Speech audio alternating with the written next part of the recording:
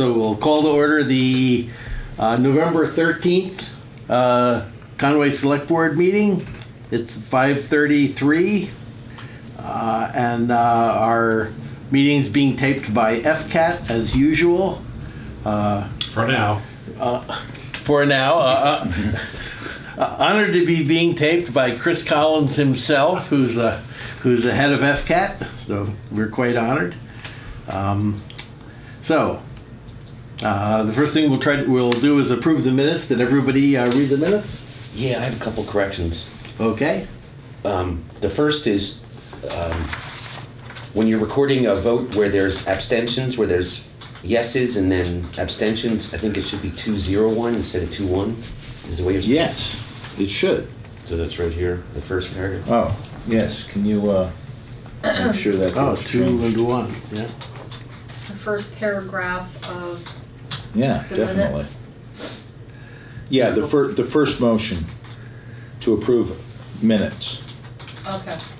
It should be, And, and uh, John abstained, uh, uh, so it would be two to zero to one. yep, okay, thank you. And then the second correction I have is um, the all committee meeting notes. Yeah. Um,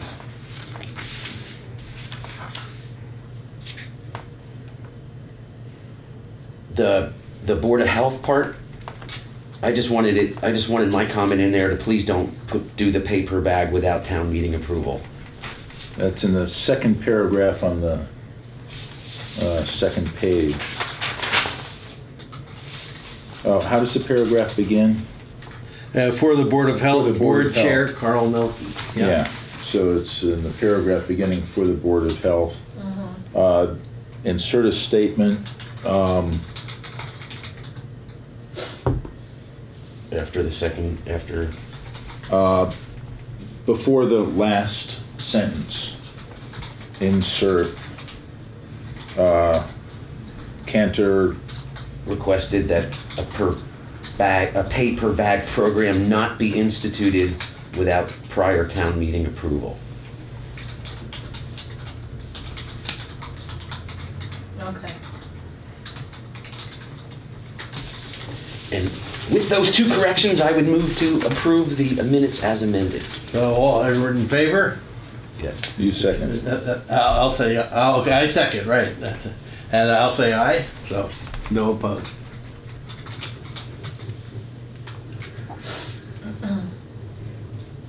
So we have three warrants. Um, So we have a vendor warrant for sixty-three thousand and ninety-four. Is that right? Oh, no, No, that's on the read the minutes. minutes. Uh, I knew, I knew it was Yeah, yeah. formatted wrong. No, so- it's- that's- Okay, great. that was less than half the That vendor was- warrant. Yeah, so we have a vendor warrant for hundred and twenty thousand, five eighty-two Six and sixty-one cents. and sixty-one cents. We have a payroll warrant for hundred and eleven, nine seventy-two and six cents. And a payroll deduction warrant for twenty-seven thousand five hundred two and ninety cents. Move to approve the warrants. Okay, I'll second. So, Yes. Aye. So, meetings attended by select board members.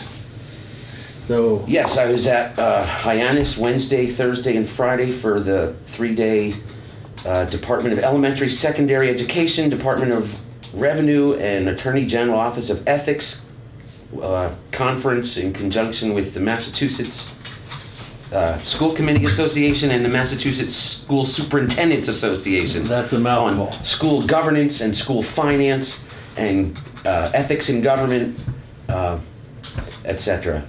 So that was quite the three-day conference. Yeah. Learn anything new? I did. I did. Um, had an interesting conversation with the uh, the town attorney for Chester.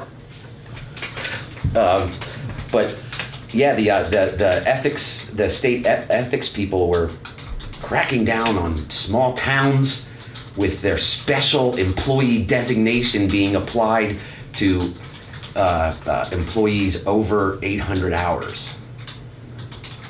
So that's the special employee designation is what small towns do to uh, to to make the state ethics rules non uh, so, so that you're not cut so that the employee is not covered by the state ethics rules things like nepotism not all of them. right right. Things like nepotism and self-dealing and whatnot. and uh, 800 hours a year? 800 hours a year is the limit on the employee uh, uh, that uh, beyond if they go over 800 hours they're, they they cannot be a special town employee and they would have to be subject to all that and so there's a renewed emphasis Wow. on going after towns that are non-compliant with that and that and I don't know where we fit in on all that but um, they made it seem like they're pretty serious about that um, They will catch us. I don't know if we, I- I- I, don't know if we're out there to be caught. It feels okay. That's four hours a day, right? It's, well, well, No. uh, No, right. no. We work more It's- more than yeah. It's, it's, it's less than that. Um, the, the, our main special municipal employee is the administrative assessor. Um, and it is by position, um, not by individual. Uh, select board members are automatically, uh, Yes. special municipal employees. Yes, But, um, with no time, with no hourly. yeah, Yeah. so they're a special case, a special special. But and then a whole lot on uh, on uh, executive session minutes, and uh, that that's a focus of litigation in the eastern part of the state now. Um, but basically, as soon as you are in special uh, in your executive session, and as soon as you get the thing that you went into executive session o- discussed or over with, then you're even if there's other tangible issue, uh, outstanding issues surrounding that, you're supposed to go into public. That aren't So- included. Yeah.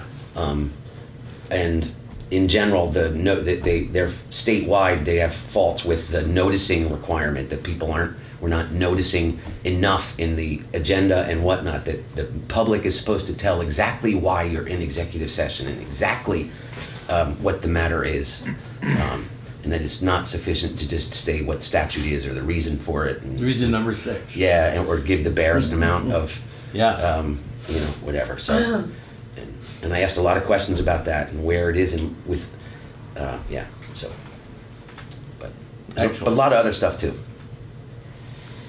Great. How to spend and not to spend E and D and all that stuff. So, yeah.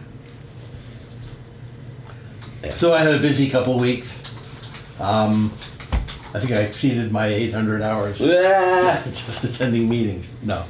Um, so one of the meetings I went to was we had a, a meeting of what's called the Small Town Summit. I go to various Small Town Summit meetings. This one they held instead of holding it in Charlemont, they've been trying to hold, ho- spread them around to various towns. And this one they held actually in Belchertown, which is not exactly a small town. Mm-hmm. But the reason is the, the topic was to talk about transportation and in hopes that maybe a slightly bigger town might be doing some interesting things that that we haven't thought of. So and and the people in Belchertown said they're not. So that wasn't very helpful, but it was a good place to have a meeting. And uh, and I went to my first conservation commission meeting uh, a little less than two weeks ago. So that was very good. Um, and there is another one today, so we'll see how that goes. But so it's a it's it, it's, it's a nice group and and talking about issues, you know, I mean projects that are going on all over town, which is which is fun.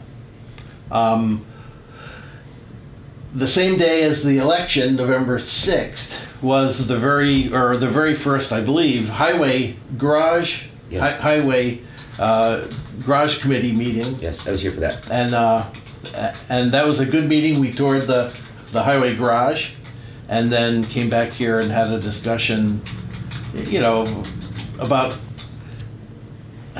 how to sell it better, how to walk into town meeting and, and not get the amount of pushback.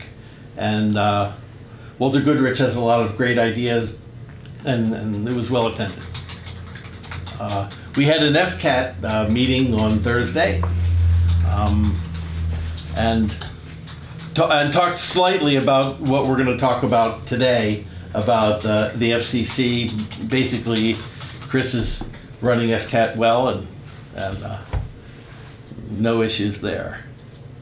And uh, we had a Conway Cable Commission or committee meeting here the, to talk about our upcoming franchise agreement with Comcast. And uh, this was the first meeting that was supposed to be attended by our lawyer, Bill Solomon, but Bill wasn't able to make it. He had a, a health issue, and uh, so we, he was here by phone. Uh, and, and Comcast was here, and we had a good discussion. And uh, from And you'll be meeting next again when? and we'll be meeting again in. I could look it up on my phone. I can't remember. Um, Ah, well, in another two months, I believe. Um, And I think at that time, if all the issues get resolved that we talked about, we would be ready to write our new franchise agreement. It's, and there are basically not very many complicated issues um, in our next agreement. Uh, some of the numbers change. but you're going to discuss that at your next meeting. Yes, we would. Yes, we will. So, so those are those those are those were my meetings. So, public comments. Yeah. No public comments. Chris, you were good. Okay. Uh, so we have two items of old business in the agenda. Uh, one was uh, to to uh, discuss the electricity aggregation uh, process that we talked about last week.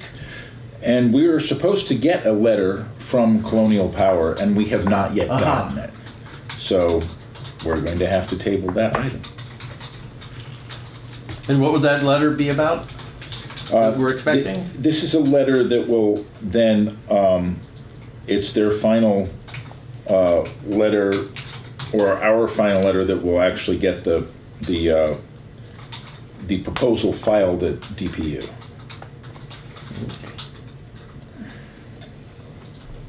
So, yeah. So, th- so this is this is the step in which now it will take another six months after that for the DPU to then approve our aggregation. Yeah. And it says consider a letter opposing expansion of the Chinese immersion charter school. And that, I think, um, the, the due date for comments is December 3rd, I believe. Um, and I, um, I'm gonna ask that we table that and bring that back in at the next meeting. And, but the Chinese immersion school, charter school is tr- seeking to double their size, um, which would have negative impacts for all the towns. Yes, it would. And they applied for this a couple of years ago. And it got And, down. and it got denied. And, Right. and that was significant because it's the first time they had ever denied Right. an expansion by a charter school. Right. And so they're trying it again. And it was significant too, because it was the first time that DESE recommended denying it. Yeah. And uh, so not much has changed except it's two years later. Right. So new business. Uh, do we have a letter from Tom Pleasant? It is in the back. Um, The, uh, the chair of the board has requested that we um, discuss that in an executive session at a a further meeting, Okay. as it deals with release of real estate. So yeah, John, sorry he wasn't able to make it today. So And so we can. So do we have a motion to table that? sure. Move. Sure. So, great. Yeah, I assume we should vote on it. So we'll. Aye. Aye. And uh, we're going to approve a few licenses. Yes, this is that season. Um, Before, we uh, were required to get our alcohol licenses in, um, which reminds me, I don't see a, uh, We haven't gotten everything back yet from Barbara on this. That was mistake. so we'll have that to, uh, we'll have to do that at the next meeting, which will be in Right. time. We Right. have to get the things in for the alcohol licenses by the end of November. We don't have to get the others in until the end of December, but we thought we'd put them all together. That said, now we have all the others and not, Not these. and not the Conway Inn. So, Okay. So we'll table this for two Oh, we, weeks. we can, we can, Or- uh, we can approve these. we can approve these? So we have They're all- licenses? They're all good to go. We have very few, they've all paid their, their permit fees Costigan and Vite and Mags and, and, and Orchard also equipment. Cos- Costigan and Vite are, are auto licenses. yeah, Mags is uh, antique dealer. yeah, Um, and Owesco is, Orchard The Equipment. pride of Conway. right, but, uh, I forget exactly the, the particular permit they're required to have, but, uh, it's in the, it's in the folder there. I move to approve the four licenses. And I second. Aye. Aye. And those are ready to be signed, So these are in here? yeah. Yep. Oh, I see, okay, so.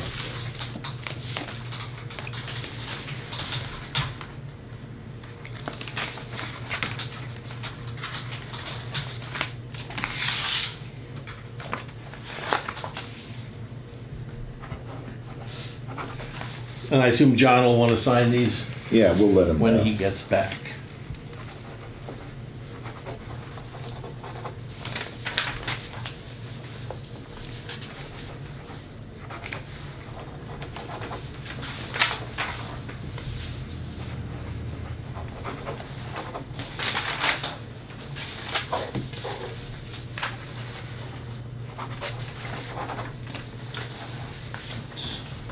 Great. And we have some employee recognition awards. Oh, that's also secondhand motor vehicles. Yeah, that makes sense. Yeah, because they do a lot of repair and resale. They work on my tractor and my farm equipment, that's for sure. Mm. Got my pressure washer fixed up just perfect. Love it. Yeah. So we have employee recognition awards for Nick Sweet. And for me, it Must be in a misprint. it must be. Yeah, for you. Passing these things out like candy these days. Oh, well, uh, that's what I say too. So how long have they each worked? So these are all 10-year awards. No, well, some of them are more. Some- some than are 10. more? Yeah, So- Christina's twenty. So Nick Sweet, it's a 10-year award. Yeah, And Joe Colucci, it's a 10-year award. And Christina, it's a 20-year award. And for me, it's only a 10-year award. So Wait, wait. the broadband Yeah. committee's been around that long, it's hard to believe. Anyway, so I would uh, support a motion that we sign these and thank everyone all very Okay, I'll move to sign the employee recognition letters or approve of them or whatever the nomenclature is that is appropriate. And I'll say aye. The second, and the vote is Second. unanimous in favor. Yeah, Two to zero. Yes, there we go. We'll get this right. And, we'll- and John will take care of this when he gets back. Printed on beautiful paper. These are yeah, the, uh, the least we can do. licenses.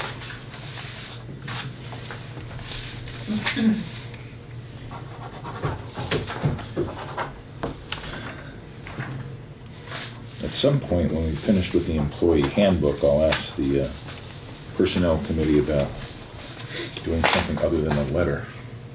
But we th- we thought this was a- at least something we can do. Sure, that's nice. So the next item of new business deals with this FCC rulemaking. Um, What FCC rulemaking, Yeah. Bob? So do you want to talk about this, Chris, or? If you, I can talk if you want. I got Sure. Just gotta adjust the camera quick. It's a little different.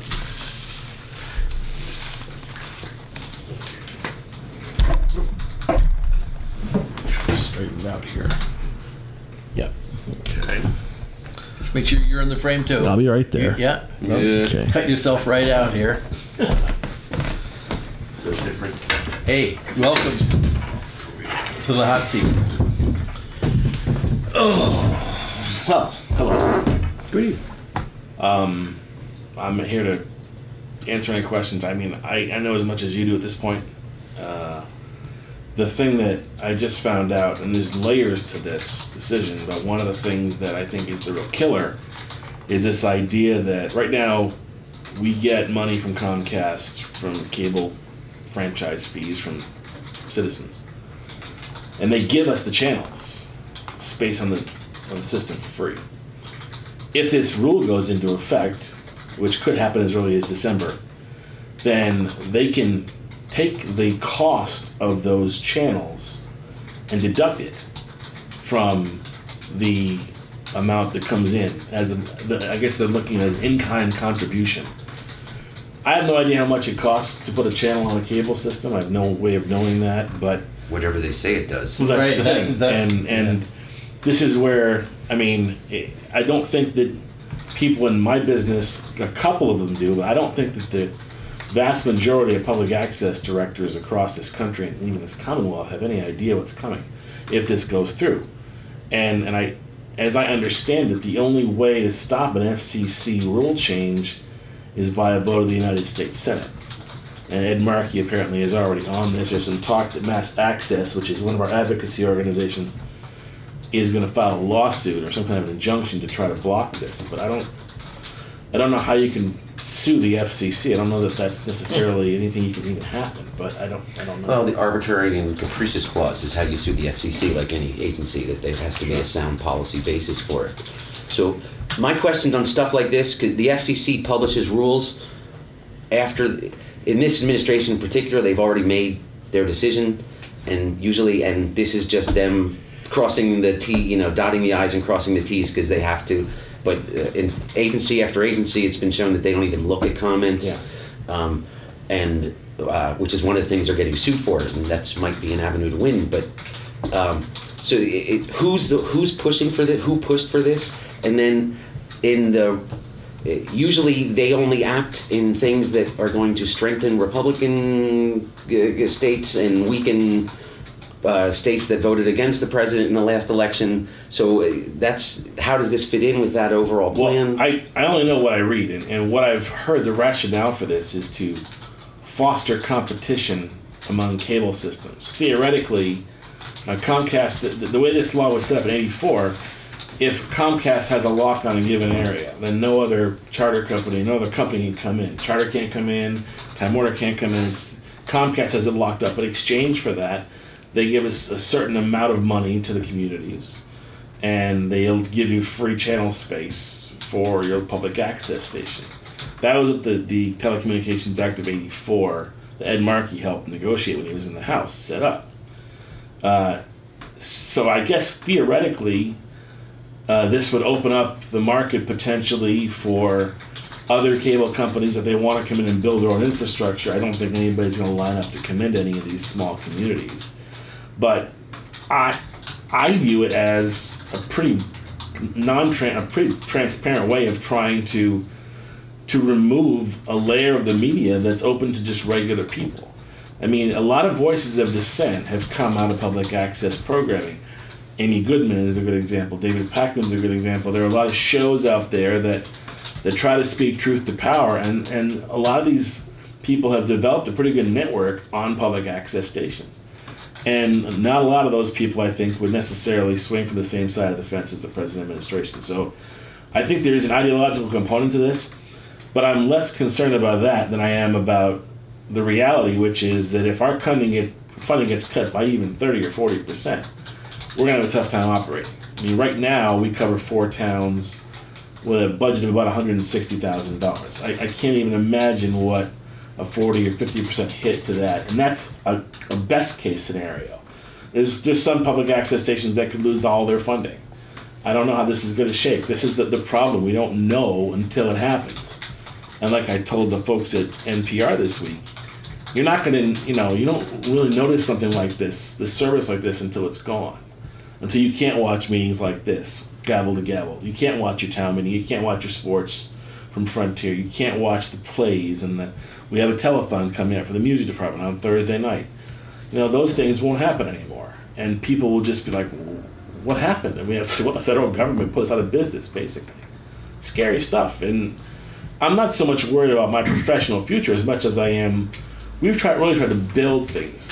We've tried to build this operation. We've tried to get more kids from Frontier involved. Really get in the schools All that goes away in every community in this country if this thing passes through. It's terrible. Yeah. I mean, I- I've, I've lived down, I mean, when I lived in Georgia, it was the public access thing that did the high school football games. Sure. And Texas as well. And I mean, Texas, Alabama. Here too. I mean, Right, but Texas, Alabama, and Georgia without Friday night football on their television, they would riot. Right. That's about the only thing they would riot over. Seriously. and so I, I, when I read this, I'm like, how is Texas going to watch their high school football? Um, and that in itself would you would think would torpedo this. Well, What's hard for me to imagine would be if we went to our towns and tried to raise $160,000 out of our tax money. Well, that's what they're trying to do, I think. That, that- that's the end game here: is to put more money back in the pockets of the cable company and force the towns to pick up. And I, look, I'm not going to go to the, the town meeting in Deerfield and say, "Give me eighty thousand dollars," which is half our budget, by the way. Right. If they left me out of the room, and with, with right, rightfully so. I mean, just the the way the thing was set up, it was set up as a trade-off. You get to have exclusive rights to this area in exchange for this service. And now they want to change, they want to rewrite the rules. And the thing is, you're talking about negotiating a 10 year cable contract. Whately, Deerfield, and Sunderland just negotiated a 10 year cable contract. Every contract that gets negotiated is, is dependent on FCC rules at the time. If the FCC changes the rules, those contracts aren't what the paper they're written on. And that's where this gets really dangerous. Because we can't, we have no recourse. None. Do you think that Comcast is supporting this FCC change? Um, I haven't heard that they are, but I can't imagine they wouldn't because it means more money in their pocket. And granted, it's pennies on the dollar compared to what they make. But I look, I I can tell you that my experience with Comcast has been has not been great in terms of their willingness to just do to just abide by the rules of their own contracts. We have a meeting coming up in Whately that's a year later than it should have been regarding going live in their Newtown offices because Comcast didn't do the work they were supposed to do, which is part of their contract. I, if I were a betting man, I'd say yeah, the cable companies are probably doing cartwheels over this because it means more coin for them and less of a of a, a burden. You know, there's not there's, and there's not just operate. There's capital money as well involved in this. You know, we we got our capital money in the last contract for the last three towns I mentioned was front loaded, which means we get less on the back end. But, but, but the change doesn't affect capital money. Well, yeah, I know, but that's all. But that's all you're going to have. That's right. I mean, the the Right. killer for us is an operating budget that pays Yeah. my salary, that pays my stringers, that pays our production assistants, pays for equipment, Right. pays for keeping the lights on. it's the funding that produces the shows. Correct. It's the funding that gets somebody here to video the shows, that gets somebody to tape Conway Festival of the Hills or, Right. And- or the and- Frontier and- football games. And I can tell you, to keep all those balls in the air for four towns is not easy, but we do it. Yeah. Yeah. and I think we do a pretty good job at Definitely. it. And and I I just I can't imagine. I mean, if you look right now, there's no reporter here from the local newspaper. I mean, the local newspapers have given up pretty much covering the small communities. We're it, man. We're the ball game, and we have to be here to be able to document this stuff. FCC doesn't care about that. They care about what they care about, which is deregulation. This is all part of a pattern of deregulation. The problem is it's hitting us right between the eyes. And you wouldn't save any money by not having a, a broadcast channel and just putting the things on YouTube. You still have the same Well, we have a- we have a- production expenses that go into that. Correct. We have a, a, a broadcast server. I mean, could we move everything to YouTube? But that's capital, yeah. Well, the, the server is already paid for. Yeah. But, I mean, if what you're asking me, I think is I'm saying that you wouldn't move, you wouldn't save any money. We wouldn't just be able to shift over to YouTube because the whole production, co- all of the production costs are still there. right, and you still, but you wouldn't have any money coming in to be able to keep Right. the operation Yeah. together. So it's a catch Right. twenty two. I Believe me, The, the reason I ask that question is that when I talk to people, there are a lot of people who may not think about public access television, but they love the polka. Or Right. they, or they, or they love some as they love the, the football games, or you know, they, they love some piece of it that they don't really think of as those boring selectmen's meetings, although it's always amazing. Even if they recall the movie Wayne's World fondly. Right, exactly. Pe- People watch the selectmen's meeting. Well, the other part of this that's also I mean, we're, we're already under fire in a certain sense because people are cutting the cable cord all over the place, and that will it hasn't quite yet, but it will eventually impact our funding because every person that cuts the cord that's one more franchise fee that goes out the window. So it, at some point the numbers are going to go be dwindling anyway. But this would, you know, be a difference between a you know, sort of a death of a thousand cuts and a hatchet across the leg. You're talking about chopping, chopping off appendages when you talk about taking 30, 40, 50%, 70% in some cases. Where'd you get that budget. number?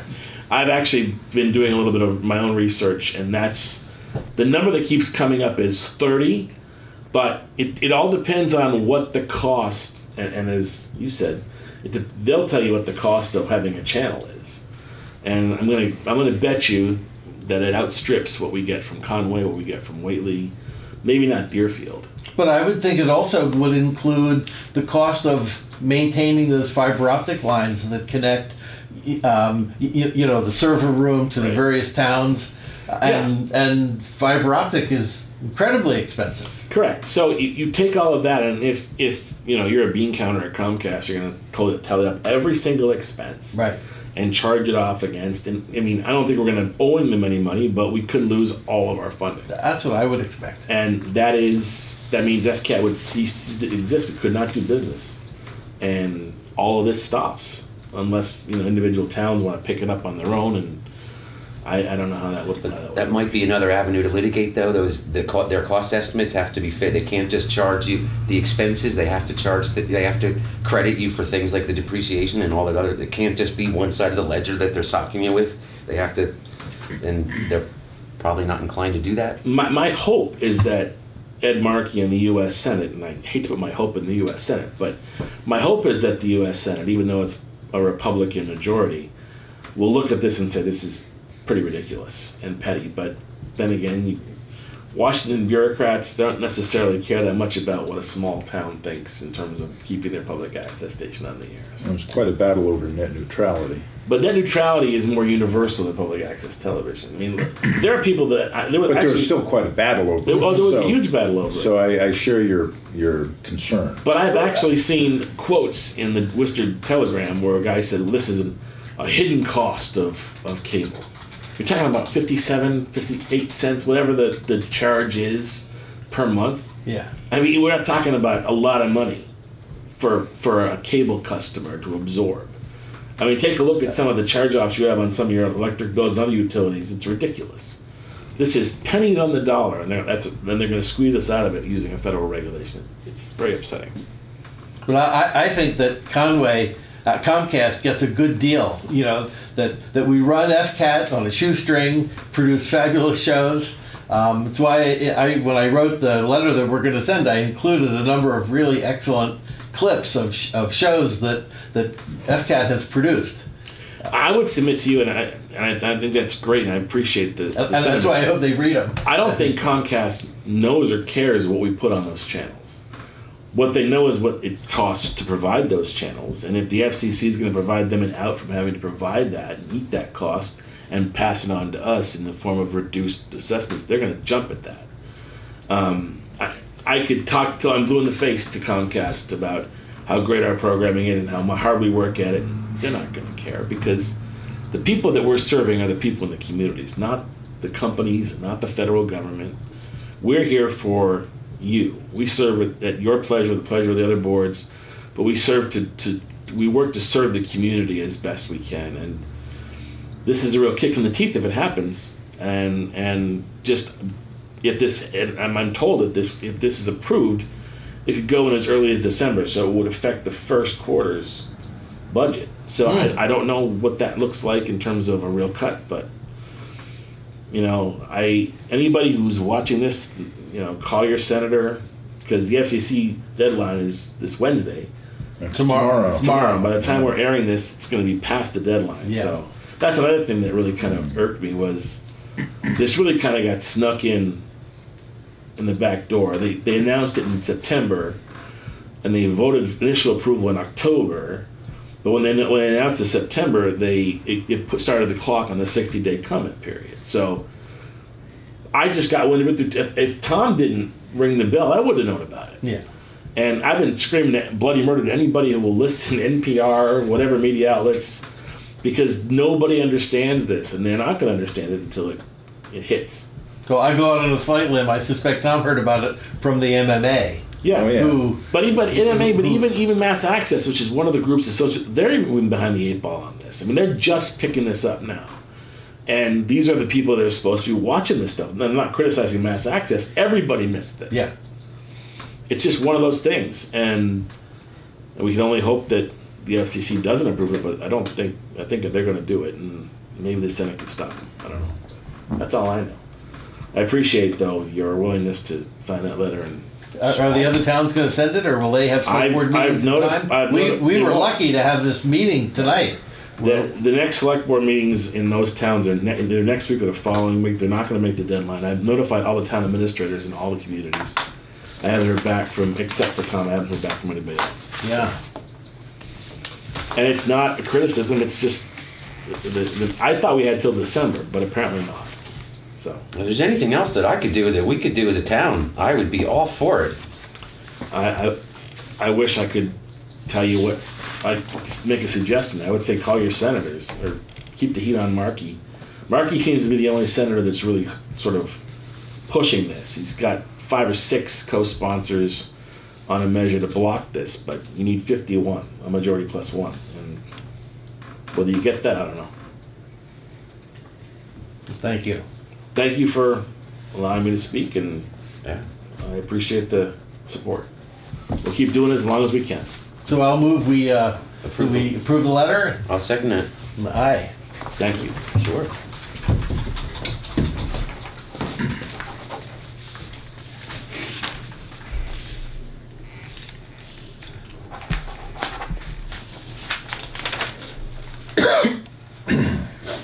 It's a very good letter, Bob.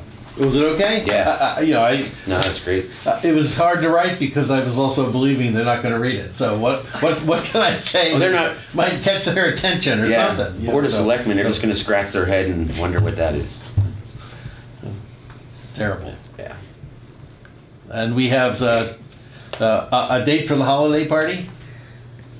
So I got in touch with Barbara and um, looking at the week before Christmas, which is when we had the party in the last few years, um, ran some dates that week by her and she said the 20th would be a good day, which is a Thursday. So I told her I would bring it to you and you could, Is that a planning board meeting night, do you know? um. I don't think it is. I think there's, are they second and fourth Thursdays? Uh, let me look. So we do have an FCAT board meeting that night, Uh-oh. but we can work around that. What time is the uh, FCAT? Five thirty. Uh, On December or January? December. December. No, our meeting is until January, Bob. Yeah, it's six PM planning board. But we must have had one that I didn't cancel, so I, Yeah, we're, we're meeting, the next meeting is the, the That's- annual meeting in January. good too.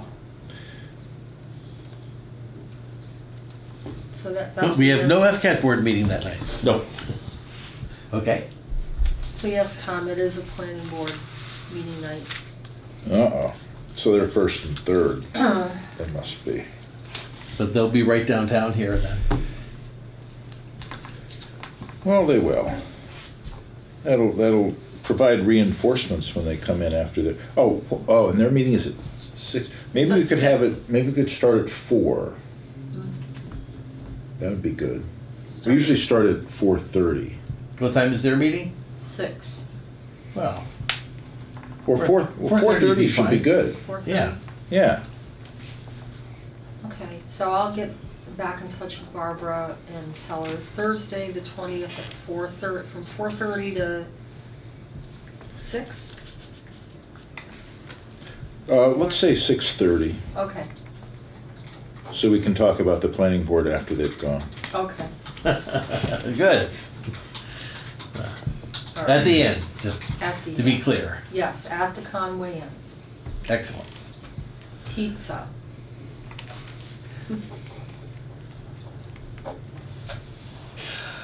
Items not anticipated uh, 48 hours in advance. I have nothing. No, I don't. So, the update. I was afraid you'd say that. Uh-oh. I didn't. You you knew it's coming? Yes. I have them, I just didn't uh, print them out. I was, uh,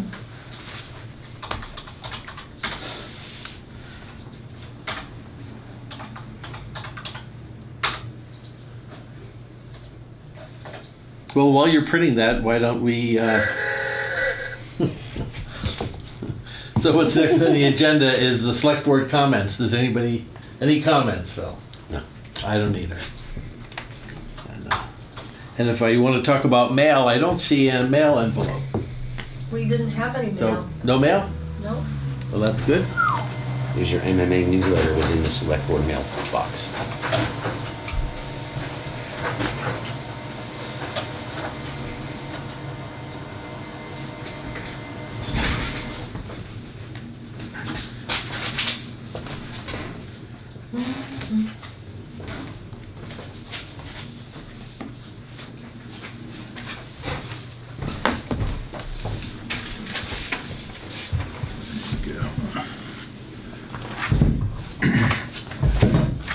Lots of committee news.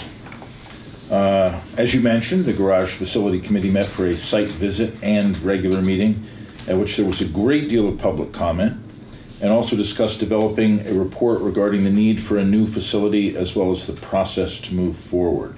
Their next meeting will be Wednesday, December 5th, at 6 PM in the Town Hall General Purpose Room. Uh, The Personnel Committee met and, subject to some editing, has recommended a revised version of the employee handbook for your approval. My assistant and I will be making those revisions and bringing it to you as soon as possible. After this, we expect to have minor changes on an annual basis. You want to talk about the school committee issue with that and how that, that was? We're, we're, we're, we're gonna, and we're, we're gonna, we're going to communicate with you about that. Okay. Officially, Okay. Oh, which is good. yeah, good. Yeah. Um, Two planning board members and I interviewed two candidates for administrative assistant to boards and committees, and we'll have one to recommend at your next meeting. Great. Uh, Peter Zale has submitted his resignation from the Conservation Commission and from the Community Preservation Committee, to which he was the Conservation Commission representative. Since he was also chair of the Community Preservation Committee, this leaves quite a hole to be filled. I will contact the CPC and offer to convene a meeting to elect a new chair and assess their membership status. That is how they're doing for members. So, so it's Peter's resignation from the Conservation Commission. Leaves that- them without a that- chair, But that really, as far as I know. Yeah. um, that's what really prompted my having to sit on that committee now, that commission, the Conservation Commission. Yes, So, yes. uh, and, and, and the meeting I went to, um, two weeks ago, uh, Peter was there, which was great. So that was his last meeting. It was a handoff. It was a handoff, yeah. Oh, good. Uh, in departmental news, there was good coverage in the recorder for uh, the Citizens Academy, I should say. Uh, though they did not pick up on the change to Town Academy as the name Conway will be using. Uh, I did mention that to him on the phone, just so you know. Um, I'll also note that Governor Baker signed the civic education bill on Thursday, which mandates that each student do a project on civics.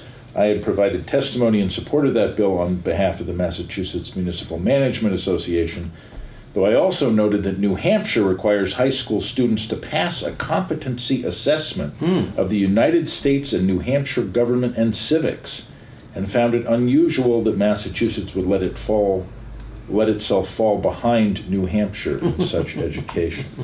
We do, it is up to the individual schools. I know Frontier um, has as a requirement, has a civics component as a requirement of graduation that's not required by statute. And that um, Oh. one of the things that students can do to satisfy that is to attend a town meeting and have proof of it. and I was trying to make that attendance of town meeting mandatory. Um, and there was a legal problem w- with why I couldn't do that. But um, We're watching it on FCAT. there you go. Uh, The most recent Franklin Regional Planning Board meeting included information on mara- on marijuana operations, a report from the International City Managers Association uh, is called uh, Local Impacts of Commercial Cannabis. I have a copy of that. You're welcome to look at it. It's right on my desk. I can I I think I read in the recorder that Amherst now has their first, Northampton. was it Northampton recreational marijuana facility? That was a live broadcast from MSNBC. Is that we- right? And it was just turn, turn it, and it was a reporter on the streets, and it's going to be the first. It's not open yet, but it's going to be the first retail shop um, east of the Mississippi River. Wow. And they have uh, tra- gonna, they're anticipating huge traffic problems. Seriously, they're call- they're calling On out- opening day. They're canceling leave for the whole police department for that day. I'm serious. Uh, Finally, I'm preparing a budget memo to go out soon. Uh, We need final figures for FY 2018 from the accountant plugged into the budget worksheets, and then they're good to go. Great, That's my news. great. Uh, announcements. Any new announcements? No. I'm going to move to uh, adjourn. Well, our next meeting, which Okay. we want to make sure everyone knows, is November 26th, two weeks from today. Except it was two weeks from yesterday. Right, right, right. It's on a Monday, It's on a Monday again? Yes, yes. because today's a Oh. Tuesday. Okay, yes it is, but, oh, no, Monday, back to So, Mondays, you're yeah. right, back to Mondays. So, so 26th on a Monday at, going back to our usual 6 PM, not at 5:30. So, So we all don't have meetings afterwards. Too many meetings tonight, everyone's off to Yeah. a thousand meetings tonight. The announcement that I, is that was very sad to see the church come tumbling down yesterday. That was uh, just the sound of it coming, coming, just the sound of it from my house was awful. Um, So anyone who missed it, there is, uh, the recorder was there, and the recorder had an excellent article. Yeah. And if you look at the recorder article online at recorder.com, they have some great videos Yeah. of the church coming down. Oh. So you, you know you can't see that in the newspaper, but if you look at it online, uh, there are some wonderful videos of the church coming down. yeah. Best of luck to all involved. Yeah. Okay. Move we adjourn. Second. Aye.